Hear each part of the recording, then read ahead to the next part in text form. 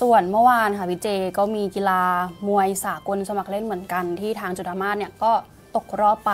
ครับก็มาดูคะแนนกันหน่อยค่ะ เมื่อวาน 3 คนที่ให้โมร็อกโกเนี่ยชนะก็คือทางบาบักวอดบาจากอิหร่าน ให้โมร็อกโกเนี่ยชนะไป 30 ต่อ 27 ก็คือ 10 ต่อ 9 10 ต่อ 9 แล้วก็ 10 ต่ออืม9ชค่ะนะทุกยกอะ ใช่นะครับค่ะแล้วก็มีทางชอนบรีสค่ะ จากสหรัฐก็คือให้ชนะ 29 ต่อ 28 ส่วนอีกหนึ่งคนที่ให้ชนะก็คือทางโรเบโตเฟรนันโดแล้วก็เซอร์วิเดค่ะ จากอาร์เจนตินาเขาก็ให้โมร็อกโกชนะ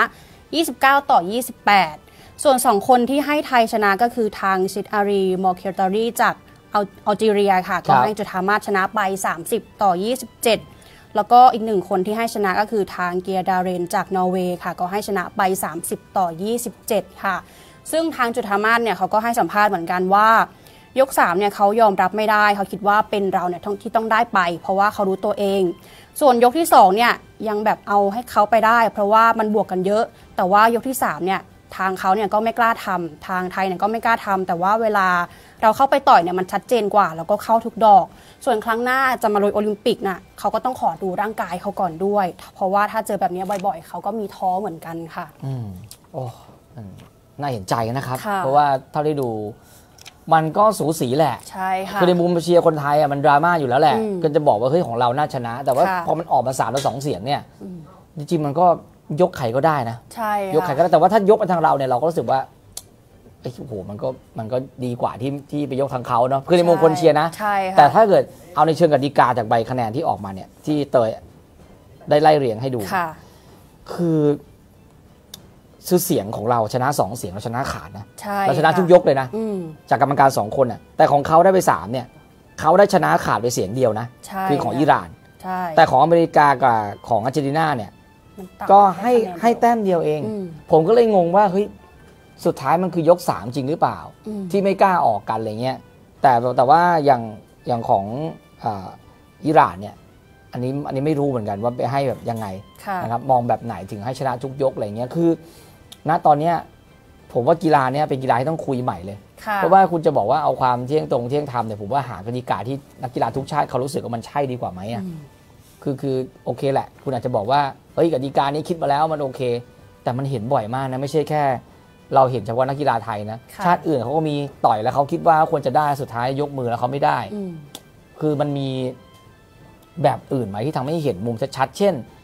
อ่าผมไม่แน่ใจว่ากรรมการเขาจะต้อง เขาจะต้องดูดูภาพไฮลงไฮไลท์บ้างไหมค่ะ เออหมายความว่าอาจจะมีเวลาดูเนี่ยเขาจะดูบนเวทีอืมแล้วก็แต่ละมุมเนี่ยมันจะเห็นไม่เหมือนกันค่ะ อย่างบางทีเนี่ยนักมวยเราต่อย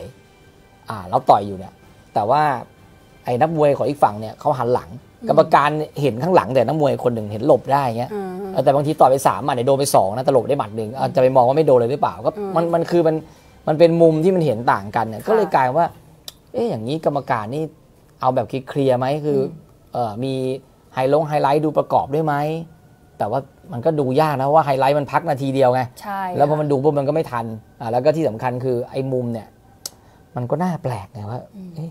มันทำยังไงให้มันเห็นชัดเจนก็อย่างหรือที่พี่หรือยังไงบกหรือเปลี่ยนไหมเอากรรมการให้คะแนนออกไปเลยกติกาใหม่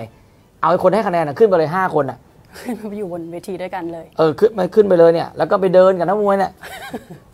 นักมวยไปไหนก็ไปด้วยเดินไปห รือว่าเราแบบอยู่กันคนละมุมเลยไหมพี่เจแบบ ใช่จริงๆอะมันควรจะไปยืนอยู่บนเวทียืนบนเลยเวที เพราะว่าคุณอยู่ข้างล่างเนี่ย มันมีเชือกบังอืม ถูกปะล่ะใช่แล้วคุณก็เห็นมุมไม่เหมือนกัน คุณก็เดินกันเลยห้าคนแล้วเนี่ยก็เราเดินสารมารถอบแบบไปอยู่ทางเหมือนเนี่ยเหมือนช่างได้ปะภาพไง แล้วก็ทำทำขอบเวทีกว้างใช่ ๆ แล้วก็เดินกันเลยเดินวนเลยแล้วก็คุยกันเฮ้ยนี่ต่อยไม่โดนนี่ต่อยไม่โดนอะไรเงี้ยอ่าเออเงี้ยดีไหมอาจจะดีเนี่ยนะ กลายเป็นทีมงานรำคาญแล้วที่งานบอกว่า มึงบ้าหรือเปล่าเนี่ยมวยเขาจะเออเขาไม่ใช่ไก่ชนใช่ไหมไปดูแล้วเดี๋ยวคนก็งงว่าอ้าวสรุปไอ้นักมวยไทยต่อยอยู่ว่าต่อยไม่โดนไอ้ยสรุปกูต่อยโดนหรือไม่โดนว่าอะไรเงี้ยเออ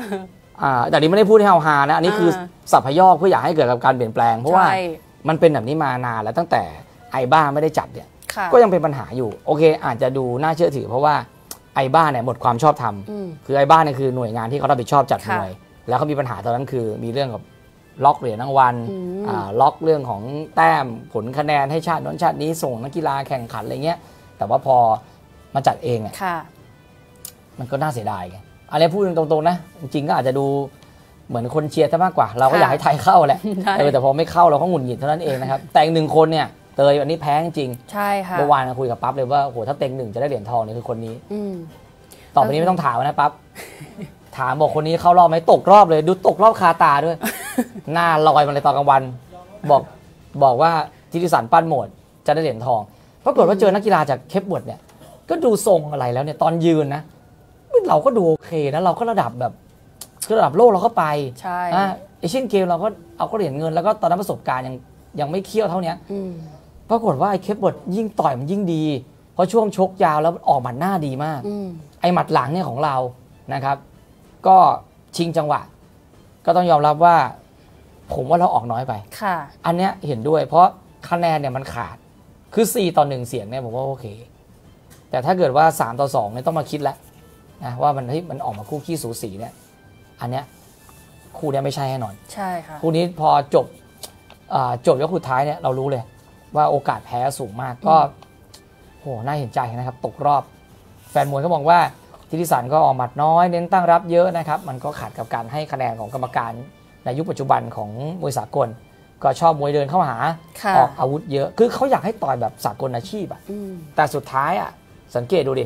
ไอ้คนเดินถ้ามันเดินแล้วมันแบบ มันไม่ต่อยต่อยนับต่อยน็อกเนี่ยส่วนใหญ่มันเจอสวนมันก็เสียเปรียบนะใช่มันก็เลยกลายเป็นเขาก็แบบกักกักๆกันอะอืมต่างคนต่างไม่ค่อยกล้าออก มันก็เลยยังไม่ชัดเจน คือถ้าปากไม่ชัดเจนนะ เอาแบบเดินเข้าทำเลย ค่ะ เออ แล้วแบบเอาต่อยเข้าเป้าแบบไม่ต้องแบบ ไม่ต้องไปดูแบบเอาเหมือนมวยสากลอะอืมเออวัดอย่างนั้นไปดีกว่า อันนี้มันดูแล้วมันยากนี่ตั้งแต่จัดมาอย่างนี้ยังไม่รู้เลยนะว่ากติกาชัดเจนเนี่ยเวลาเขาเขาดูเขาดูยังไงใช่ออกสันหมัดออกเอ่อออกจากไหลเอ่อออกจากไหลสุดแขนอะไรคือเขามีวิธีการของเขาแหละ แต่มวยนี้คือต้องกรรมการคือต้องตาไวเหมือนกันนะพี่เจ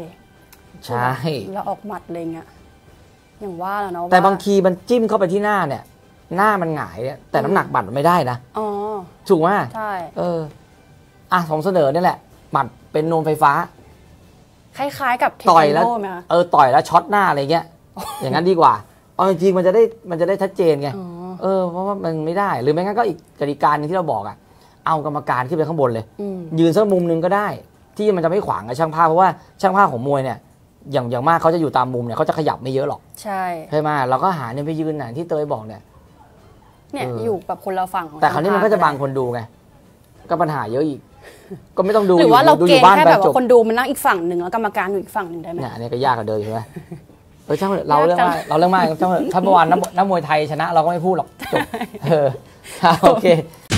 ไม่พลาดทุกเรื่องราวกีฬาอย่าลืมกดติดตาม subscribe YouTube Passport ช่องกีฬาเพื่อคนรักกีฬาทุกคนครับ